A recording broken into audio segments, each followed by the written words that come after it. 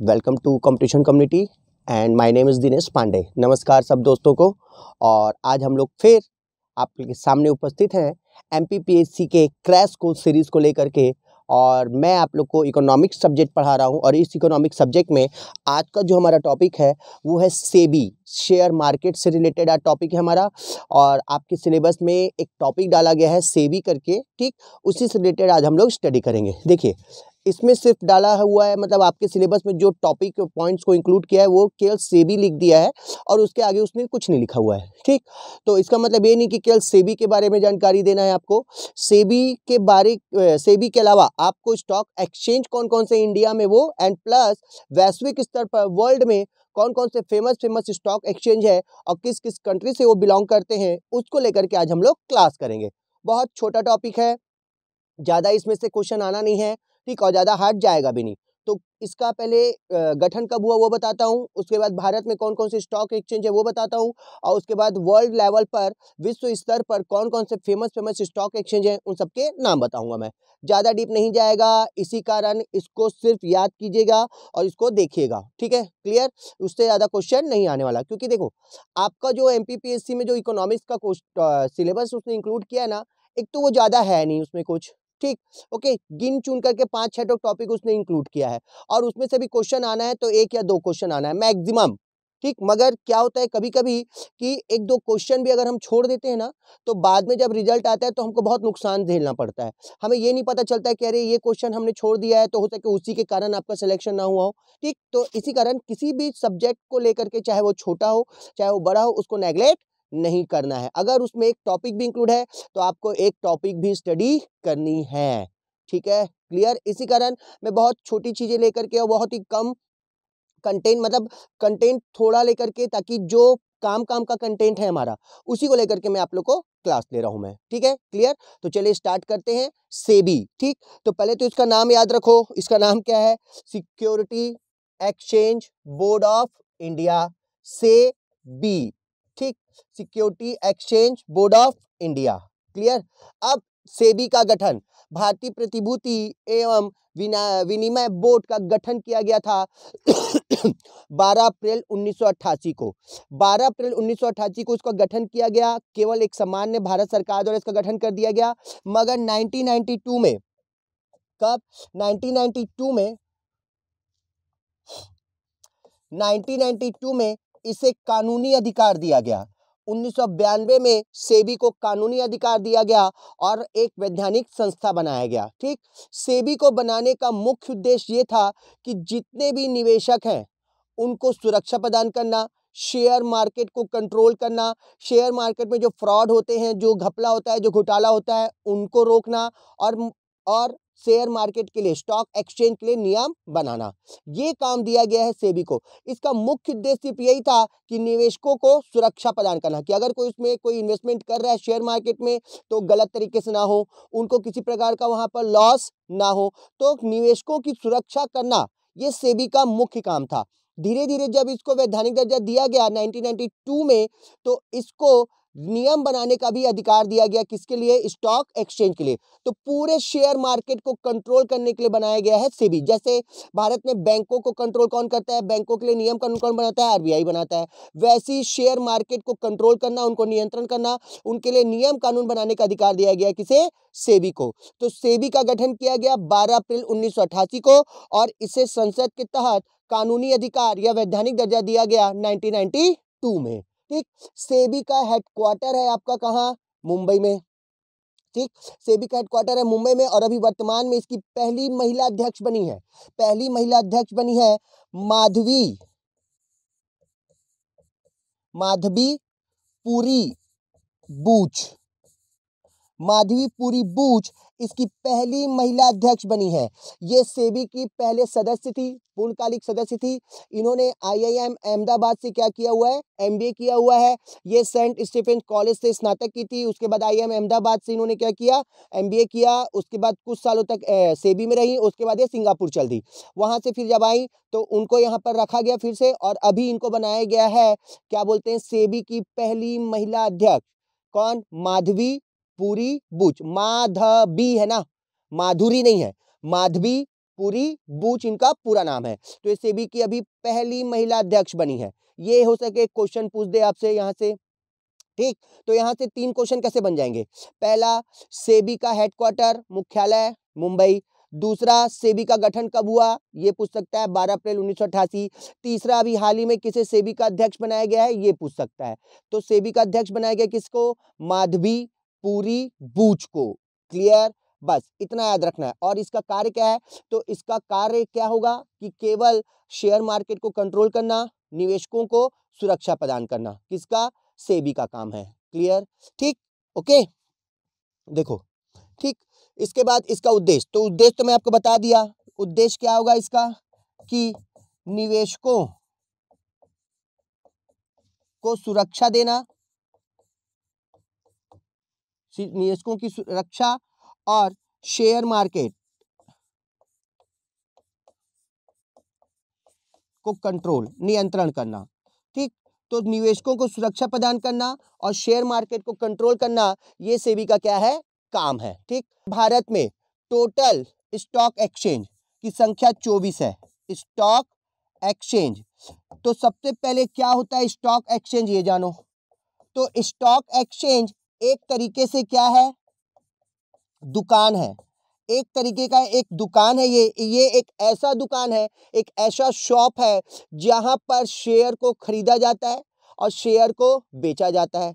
तो कहीं भी जगह पे अगर कुछ चीज़ खरीद रहे हैं और बेच रहे हैं तो दुकान ही हुआ तो शेयर मार्केट स्टॉक एक्सचेंज एक ऐसा संस्था है, एक ऐसा दुकान, एक ऐसी जगह है, जहाँ पर शेयरों को ठीक खरीदा जाता है और उनको बेचा भी जाता है। तो जिसको खरीदना है वो जाके खरीदेगा जिस कंपनी का और जिसको बेचना है वो बेचेगा। शेयर क्या होता है कि शेयर जो होते हैं, वो एक ऐसा बॉन्ड है, एक ऐसा प्रक्रिया है जिससे कोई भी आम नागरिक या कोई भी नागरिक किसी कंपनी में अपना हिस्सा ले सकता है। तो कंपनी में हिस्सेदारी के लिए क्या बना है? शेयर बना है। एक तरीके का एक पत्र होता है, एक लेटर होता है, जिसमें ये पता रहता है कि हाँ आपका इस कंपनी में इतना हिस्सा परसेंट है तो आप उसमें मालिकाना हक के रूप में रहते हो। भले कम परसेंट है, मगर फिर भी उस कंपनी में आपका हिस्सा या आपकी भागीदारी सुनिश्चित होती है। तो शेयर से किसी कंपनी में भागीदारी सुनिश्चित करने का एक तरीका है ये। इसी को खरीदने और बेचने की जो जगह होती है, उसी को कहा जाता है स्टॉक एक्सचेंज। क्या कहा जाता है? Stock exchange. तो भारत में टोटल वर्तमान में वर्तमान में नहीं बोलेंगे 2007 तक 2007 तक स्टॉक एक्सचेंज की संख्या 24 थी। कितनी थी? 24 2007 में क्या किया गया कि Saurashtra stock exchange, Saurashtra stock exchange है, इस पे फ्रॉड हुआ तो सीबीआई जाँच के बाद जब इसमें फ्रॉड का क्लियरेशन हुआ तो यहाँ से उसको, इसकी सदस्यता को क्या कर दिया गया? हटा दिया गया। तो अभी वर्तमान में कितने स्टॉक एक्सचेंज है? तो अगर आपसे पूछा, कितने भारत में स्टॉक एक्सचेंज है? तो अभी तेईस है। चौबीस नहीं 2007 में सौराष्ट्र स्टॉक एक्सचेंज की मान्यता रद्द कर दी गई। ठीक? तो वर्तमान में कितने हो गए? तेईस हो गए हैं। ठीक? ये कभी नहीं पूछेगा कि कौन सा स्टॉक एक्सचेंज है, ये कभी नहीं पूछने वाला। या तो उसकी संख्या पूछ देगा। ठीक? ये पूछ सकता है क्वेश्चन, कौन कौन से हैं या कौन सा स्टॉक एक्सचेंज नहीं है, ये कभी नहीं आने वाला क्वेश्चन। ठीक? क्योंकि ये सिविल सर्विस है और इकोनॉमिक्स में आपका सिलेबस ज़्यादा नहीं है, इसी कारण उतना डिपो नहीं जाने वाला। क्लियर? ठीक? तो कितने स्टॉक एक्सचेंज अभी? तेईस है। ओके? नेक्स्ट। देखो, इसके बाद भारत के प्रमुख शेयर बाज़ार। ठीक? तो मैंने अभी आपको कहा कि भारत में टोटल कितने स्टॉक एक्सचेंज है वर्तमान में? तेईस। कितने हैं? तेईस है ठीक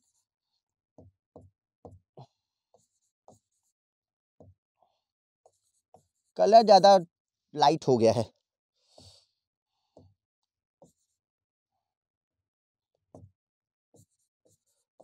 ये ठीक है, ठीक। तो वर्तमान में कितने स्टॉक एक्सचेंज है? तेईस स्टॉक एक्सचेंज है, ठीक है ना? ओके कौन कौन से हैं? तो जितने शहर है, एक तो ले लो Bombay stock exchange national stock exchange over the counter stock exchange Delhi stock exchange Mumbai stock exchange तो बोली दिया हूँ मैं Bangalore stock exchange Cochin stock exchange, Lucknow stock exchange Coimbatore stock exchange Lamarck stock exchange. तो ऐसे करते करते शहरों के नाम से टोटल कितने आपके? तेईस स्टॉक एक्सचेंज।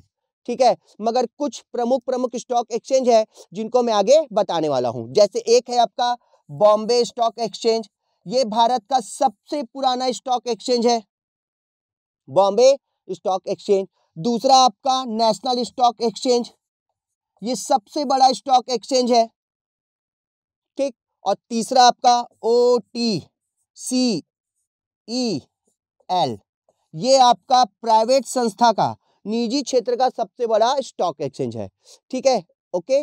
तो बॉम्बे स्टॉक एक्सचेंज सबसे प्राचीन और सबसे पुराना स्टॉक एक्सचेंज हो गया।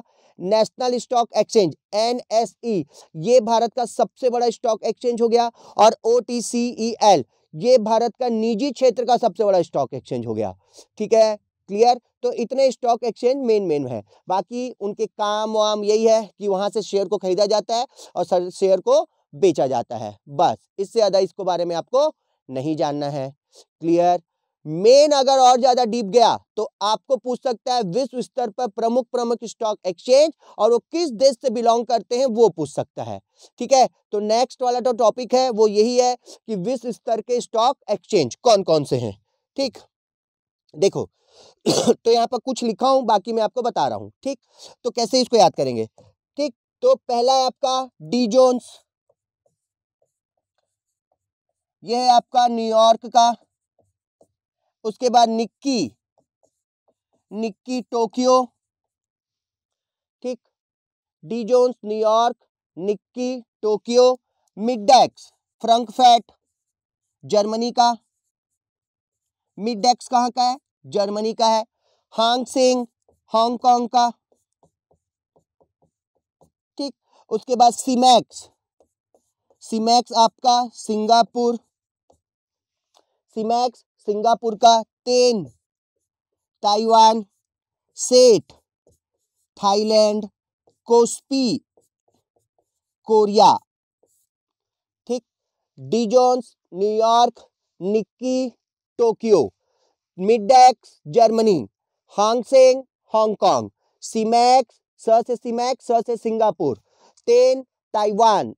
SET Thailand. Kospi, Korea. ठीक ओके, इसके बाद आ जाएगा ब्रोवेस्पा। Bovespa, Brazil. ब्रोवेस्पा कहाँ का है? ब्राज़ील का है, ठीक। उसके बाद आईपीएस, मैक्सिको। आईपीएस, मैक्सिको का है। उसके बाद संघाई ये चीन। फिर उसके बाद A S E. Australia stock exchange, Australia का आ जाएगा। फिर उसके बाद एस एंड पी तो एस एंड पी आ जाएगा तुम्हारा, कनाडा का आ जाएगा। एस एंड पी, कनाडा का आ जाएगा, ठीक। उसके बाद F T, S E, hundred, F T S E hundred आ जाएगा, लंदन का। कहाँ का जाएगा? लंदन का आ जाएगा, ठीक है। ये कुछ फ़ेमस फ़ेमस स्टॉक एक्सचेंज है। डी जोन्स न्यूयॉर्क का, यहीं पर आ जाएगा नसडॉक नसडॉक आपका अमेरिका, यूएसए, ठीक? Dow Jones New York Nasdaq America, Nikkei, Tokyo. Nikkei, Tokyo, ठीक? निक्की किसका? टोक्यो का आ जाएगा। सेट, थाईलैंड, टेन, ताइवान, ठीक? मिपटेल, Italy.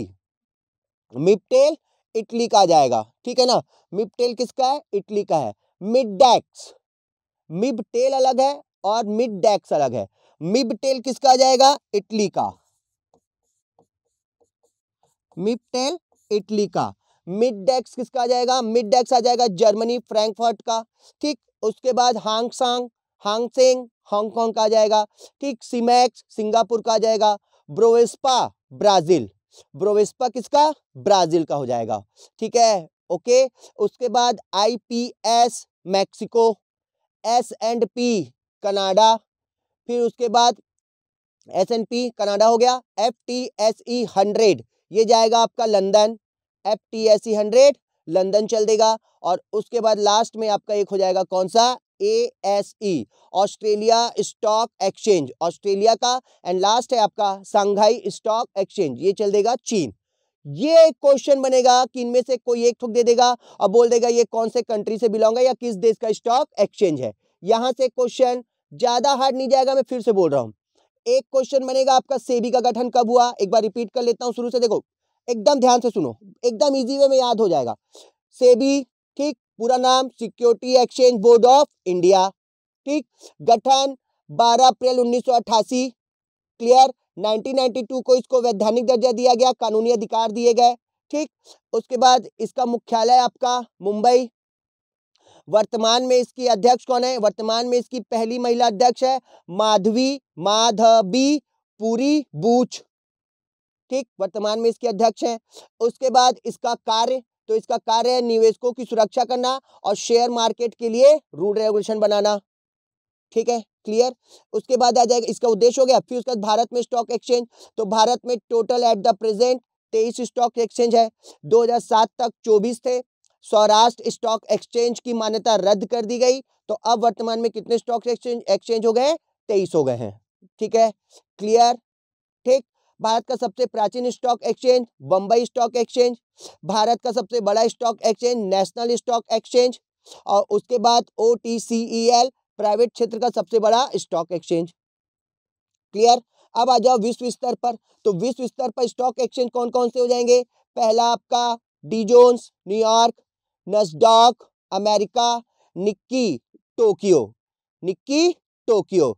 SET, Thailand, ten, Taiwan, Kospi, Korea. Simex, Singapore. मिडेक्स Germany, मिपटेल और आपका इटली। ठीक? एस एंड पी कनाडा, ठीक, ब्रोवेस्पा, ब्राज़ील, ओके, उसके बाद F T S E hundred, London A S E Australia और Shanghai China. Clear? इससे ज़्यादा deep question नहीं जाने वाला आपके सेबी के चैप्टर से, ठीक है? कुछ, क्योंकि कुछ है ही नहीं ना इसमें। क्या पूछेगा? कितना डीप जाएगा? और वैसे भी उतने क्वेश्चन इसमें से आने हैं नहीं। क्लियर तो ये इंपॉर्टेंट टॉपिक है आपका किसका? सेबी का। एक बार रिपीट करूँ फिर से? कि आप लोग को याद नहीं हो, हुआ होगा तो एक बार रिपीट करता हूँ फिर से, ठीक? ओके लास्ट बार और उसके बाद फिर उसको खत्म करेंगे अपन क्लियर तो एक बार फिर से repeat SEBI S E B I ठीक? Security exchange board of India ठीक है? बारह अप्रैल उन्नीस सौ अठासी को गठित 1982 को वैधानिक दर्जा। वर्तमान में अध्यक्ष है उसकी माधवी, पूरी, बूच। वर्तमान में भारत में कितने स्टॉक एक्सचेंज है? तो तेईस है। विश्व स्तर पर कौन कौन से स्टॉक एक्सचेंज है? तो विश्व स्तर पर स्टॉक एक्सचेंज आ जाएँगे तुम्हारे क्या? पहले तो स्टॉक एक्सचेंज किसको बोलते हैं? स्टॉक एक्सचेंज वो क्षेत्र होता है, वो जगह होता है जहाँ पर शेयरों की खरीदी, बिक्री होती है। और शेयर क्या होते हैं? शेयर में किसी को कंपनी में भागीदारी बनाने का एक तरीका होता है। ठीक? क्लियर विश्व में कौन कौन से स्टॉक एक्सचेंज है? तो एक बार रिपीट कर रहा हूँ। Last Dow Jones New York Nasdaq America Nikkei Tokyo, Kospi Korea, SET Thailand ten Taiwan, ठीक ten Taiwan, Simex, Singapore, Bovespa, Brazil, S and P, Canada, S and P, Canada, F T S E hundred, कहा, London Midex Germany, और Mibtel, कहा, Italy, clear? S A S, E, Australia stock exchange और Shanghai वाला चीन। ये portion है आपका सेबी का, ठीक है? इससे ज़्यादा आपको सेबी में कुछ नहीं पढ़ना है, ओके? ठीक है? तो आपका ये टॉपिक आपका खत्म। अच्छे से इसको रट लीजिएगा, यहीं से क्वेश्चन आएँगे, अगर आएँगे तो। क्लियर? वरना इससे बाहर क्वेश्चन नहीं जाने वाला, ठीक है? ओके? अगर कोई डाउट हो तो आप कमेंट्स कीजिए, ठीक? और क्या बोलते हैं इसको, अच्छे से स्टडी कीजिए। ठीक है? चलिए नमस्कार थैंक यू जय हिंद।